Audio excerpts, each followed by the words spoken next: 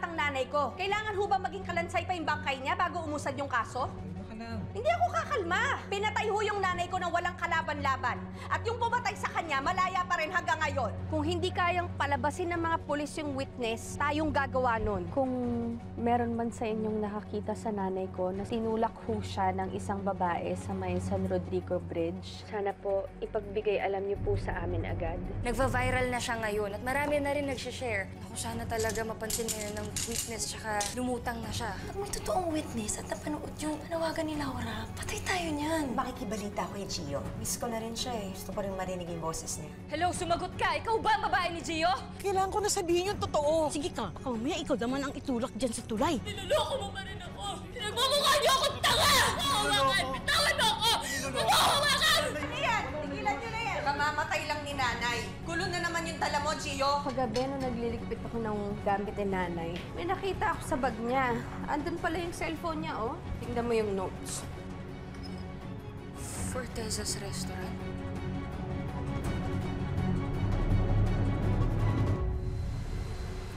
Alam mo kasi anak, makakalimutin ng nanay eh. Pag meron siyang gustong tandaan, sinusulat niya dyan sa notes niya. Eh, bakit po kaya?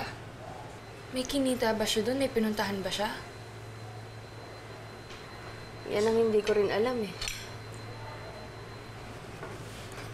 Eh, pero yung nakalagay na date dito, nung sinulat niya dito sa notepad yung Fortezas Restaurant, eh yun din yung araw kung kailan umalis si Lola.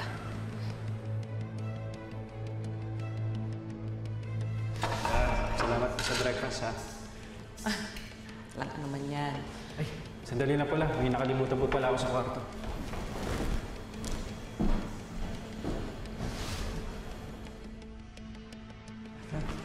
Nakalimutan ko eh. Wala naalala ko.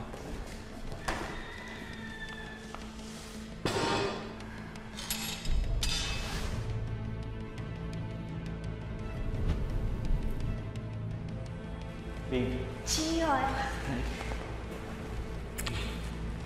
Alam mo, na-miss kita agad. Buti na lang dumating ka. At yung Fortezas Restaurant na yun, malapit yun sa bridge kung saan natagpuan si Lola. Ibig sabihin, pumunta ang lola mo doon bago siya na hold up.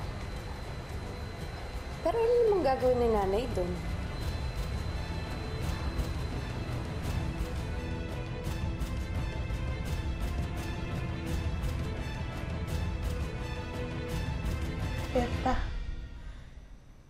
Napadaan ako kanina doon sa tulay.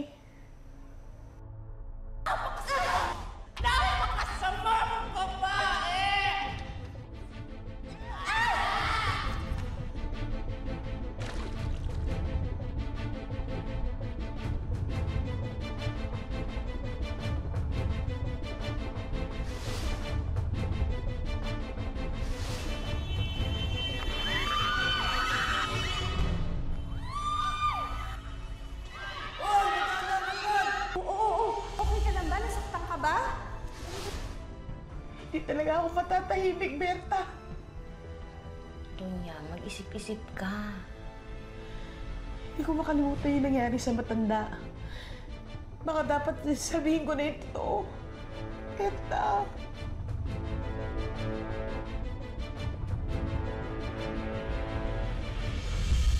Ito yung target natin. Ito yung bagong gawa. Okay? Ito yung ipakita mo sa mga clients. Pero kung wala naman silang budget, itong mas maliit pwede rin. Pero syempre kung paano natin kakausapin yung clients natin. Okay? Meron din dito. Ayan, yan. Meron ko.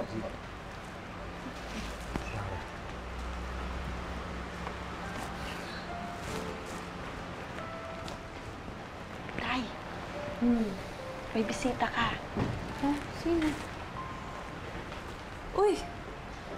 Ito naman, nagdala ka pa ng bulaklak para namang hindi tayo parati nagkikita.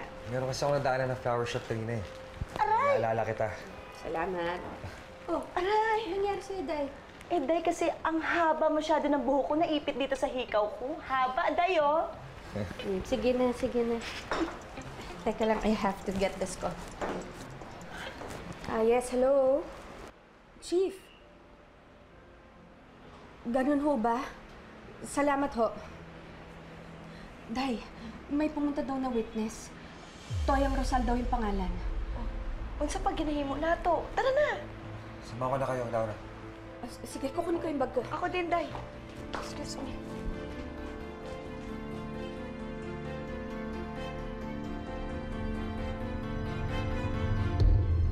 Buti na lang, tumahimik ka. Napusisan ka siguro ni Clarice nun. Dahil ayoko masira ang mga plano ko. Tsaka, pasalamat siya kundi kung ano-ano ng masasakit na salita na sabi ko sa kanya. I'm sure pinag-aawayan na nila Gio yun. Mabuti nga yun eh, nang magsawa na si Gio sa kakanag niya at tuluyan na siyang iwan.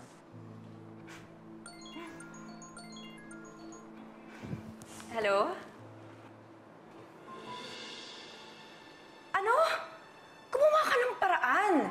Huwag mo hayaan makapasok yung babae sa presinto. Sino ba yung kausap mo? Konta ko sa presinto. May bago daw dumating na witness sa kaso ni Feli. Ano? Eh, malilintikan tayo niyan, Veron. You know what? You have to do something about this. Kailangan maharang yung babae yan bago pa yan makapagsumbong.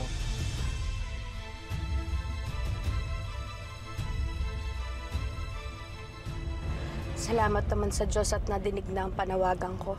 Oo nga, Day. Maayo, Jude, at naisip mong gawin yun. Laura, mapaparusahan na sa wakas at tumulak Feli. Matatahimik na si nanay kung nasan man siya ngayon. At makakalimot na din ako. Sa wakas, magkakahustisya ng pagkawala niya.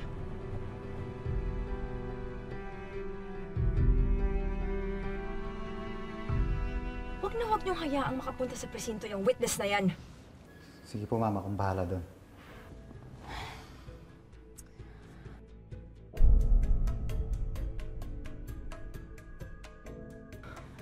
Alam mo, Veron, eh, hindi pa rin ako makampante eh.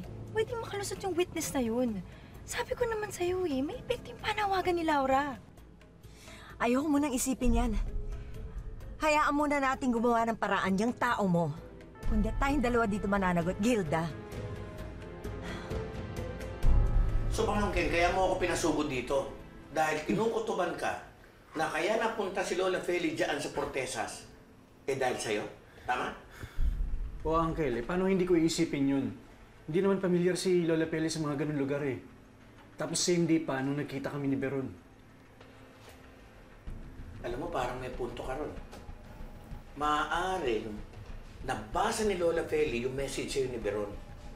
Sinundan ka doon at doon ka nakita magkasama pa kayo. Pero na-hold up siya kaya hindi siya nakabalik. Kung hindi dahil sa akin, baka hindi nangyari sa kanya yun, Uncle. Baka buhay pa siya hanggang ngayon. Pwede ba? Diyan naman ako hindi sang-ayon sa'yo. Huwag mo naman isisi sa sarili mo yung pagkamatay ni Lola Feli. Maaaring ah, hanggang doon na lang ang buhay niya. Pangit nga lang ang paraan ng pagkamatay niya. Pero isa pa rin ako sa dapat sisihin kung bakit nawala si Lola Feli. Dapat hindi na lang ako nakipagkita kay Beron noong araw na yun.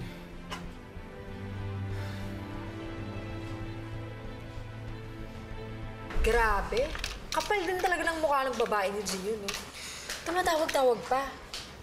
Alam mo, feeling ko talaga hindi pa tapos yung relasyon nila ng babae niya eh. Sheila, favor naman, no? Oh. Eh, nautusan kasi ako ni Mr. Hilario yung sa meeting kanina. Kailangan ko daw ibigay kay Gio to. Naku, ako sa'yo, hindi mo na ako lalapit doon. Alam mo naman, mainit ang dugo sa'yo ng tao. Kaya nga eh, ikaw na lang magbigay nito sa kanya. Sige na, ako na. Akala ko ba hindi pa kayo okay? Eh, para naman mamanmanan ko si Gio. Sigurado ako, nasa paligid lang yung babae niya. Kilala niya ako, pero ako, hindi ko siya kilala. Akin na. Sure ka? Akin na nga. Ito lang ba? Hmm, yun lang. Excuse me.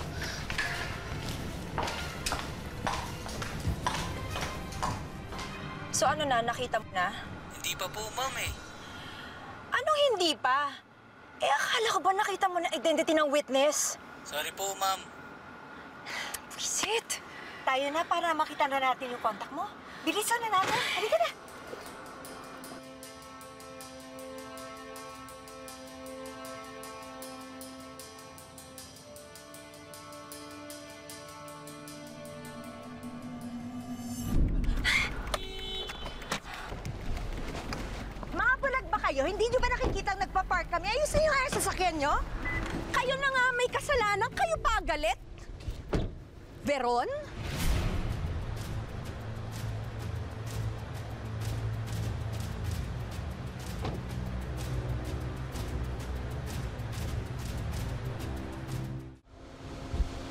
Na naman ginagawa mo dito?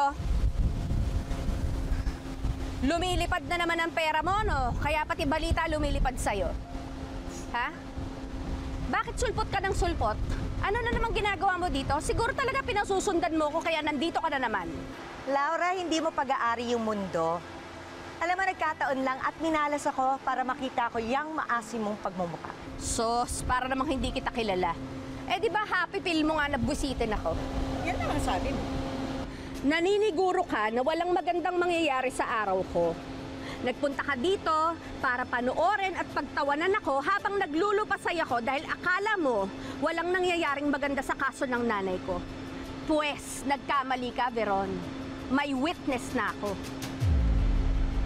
Tama na yan.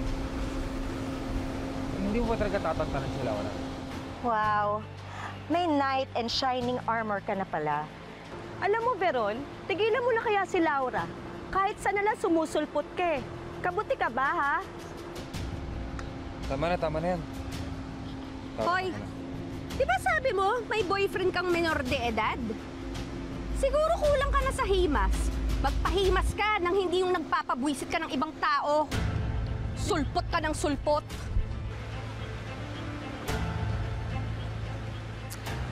Pahimas ka, kulang ka ata eh. Very classy.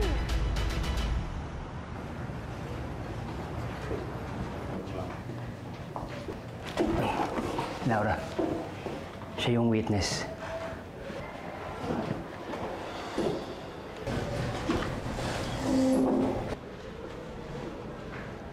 Parang nakita na kita.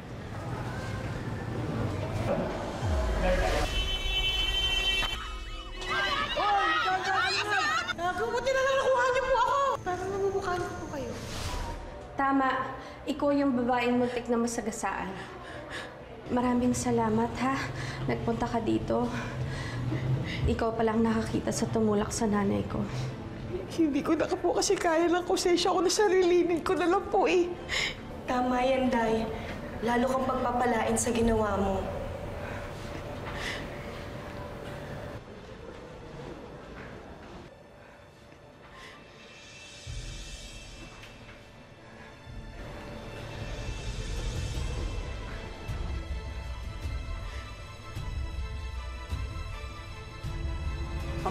Huwag ka na masyadong mag-isip ng kung ano-ano.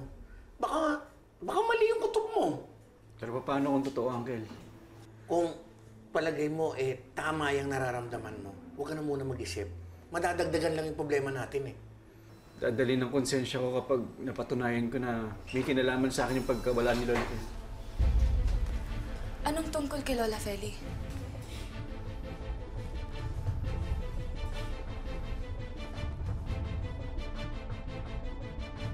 Puwisit talaga yan, Laura na yan. Palibasa, kulang lang sa himas. Uy, tawagan mo na yung contact mo. Bilis. Ah, sige.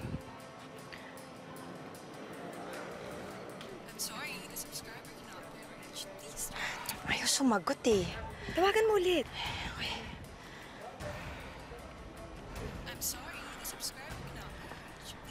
Oh my God, Veron. Ayaw sumagot ng contact ko. Sandali. Hindi kaya nandun na siya sa loob ng presinto? Yung witness? Eh, so paano na tayo? Veron, makukulong tayo. Huwag ka mag-isip ng ganyan. Okay? Ah, lalo lang akong kinakabahan.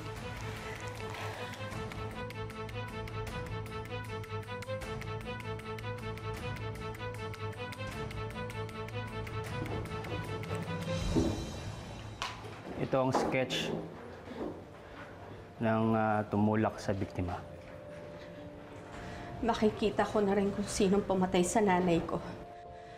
Manda siya. Magbabayad siya.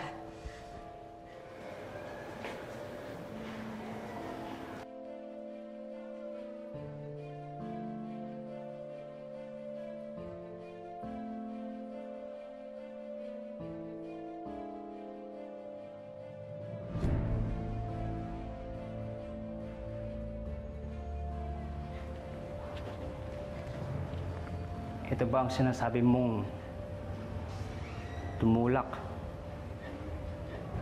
kay Nanay Feli?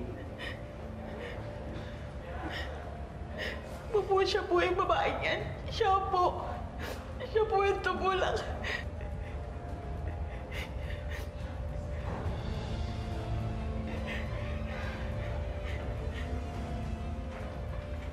Meron bang nakakakilala sa inyo sa suspect? Baka may kaaway si Nanay Feli. Hindi ko ho kilala yan, sir. Tsaka, wala ho talagang naging kaaway ang nanay ko.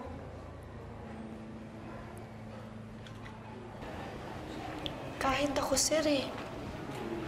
Hindi ko talaga kilala tong babaeng to.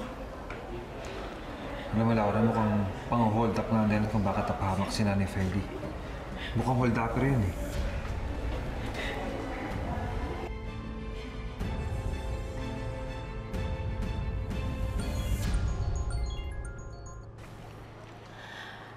So ano na? Sana naman may maganda ka nang ibabalita sa amin. Okay na po, ma'am.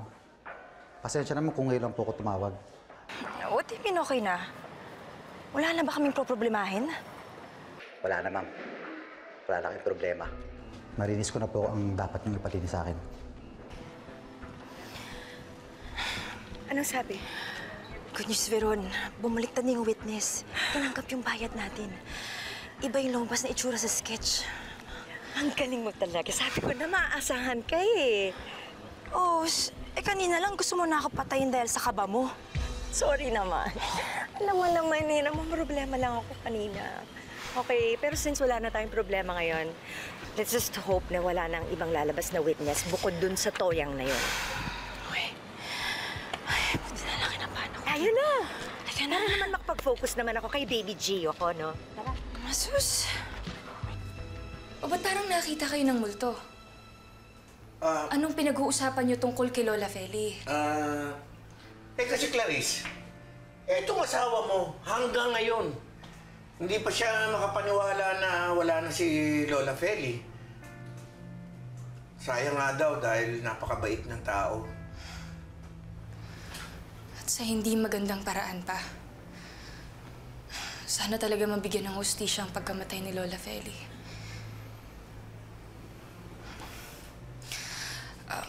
Anyway, ito pala yung pinapabigay ni Mr. Hilario. Paki-review na lang daw. Sige, ako nang bahala. Sige, Uncle, mauna na po ako. Sige, Clarice.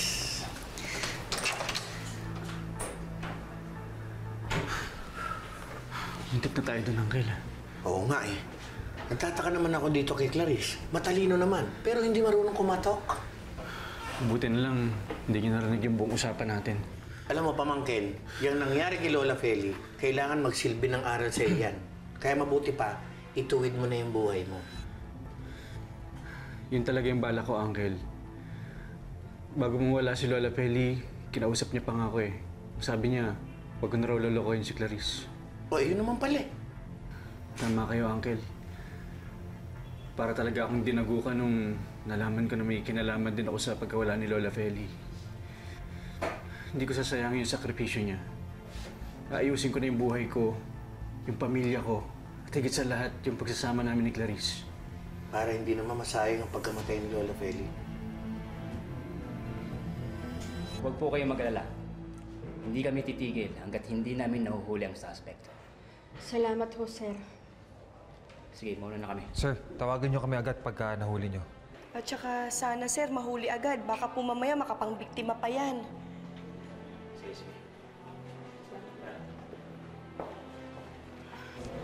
Maraming salamat po. Napakalaking tulong ho ito para sa amin para mahuli kung sino man pumatay sa nanay ko. Salamat po ulit.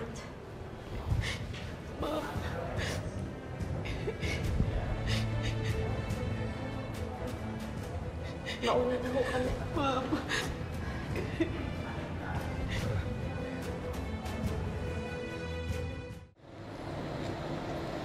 Sobra-sobrang bayad pa yan para sa katahimikan mo. Salamat. Magpakalaylo ka na. Tandaan mo, sa oras na buhay mo ang kaso at magpakita ka pang muli, baka isunod kita kay Feli. Wala ho kayo magagawa kundi ang sumunod po sa inyo. Sige na. Sige na.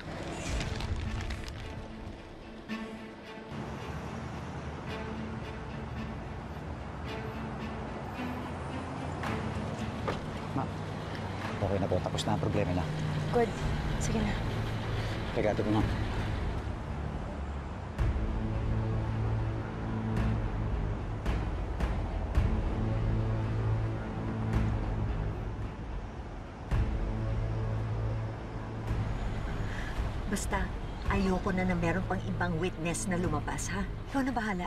Oo naman. Saya ka na ba? Oo, para ako nabunutan ng tinik. At least ngayon, magkakaroon ako ng panahon para kay Gio.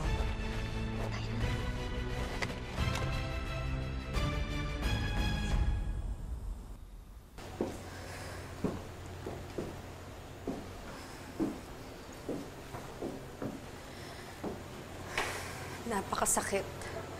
Hanggang ngayon, wala pa rin linaw ang kaso ni nanay.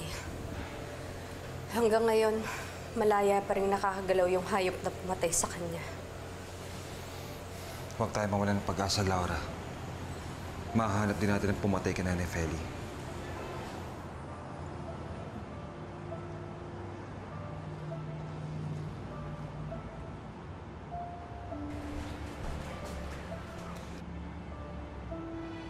Oh, Laura, nandito na pala kayo. Tamang-tama, nagluto ako ng paborito nyo. Halina kayo, kain na tayo.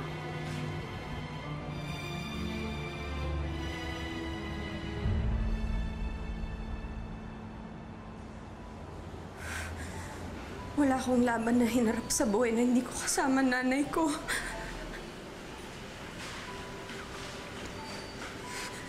Pakiramdam ko kulang na kulang na ako.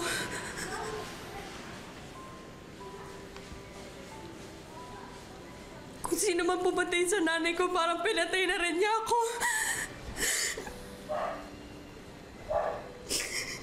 Makita ko lang kung sino pumatay sa nanay ko. Hindi ko alam kung anong gagawin ko sa kanya. Laura. Laura, tama na. Laura, makinig ka sa akin. Alam ko ang nararamdaman mo. Pero meron ka pa rin pamilya. Nandiyan pa si Jade. Nandiyan pa si Clarice. Ah, laban lang.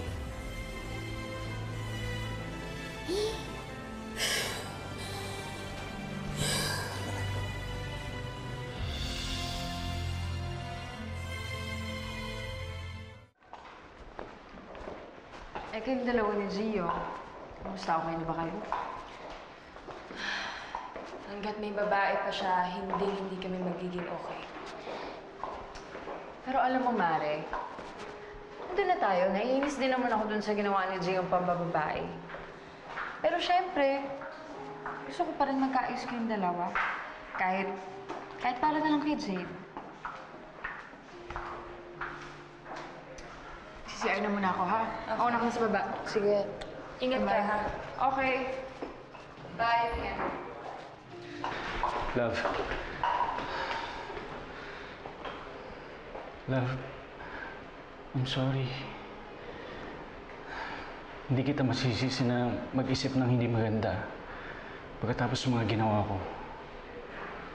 Pero love, gusto kong bumawi sa'yo. Gio, ano na naman bang kalokohan to? Love, seryoso ako. Sana naman paniwalaan mo ko. Simula ngayon, wala na ako ibang magiging priority, kundi kayo ni Jade.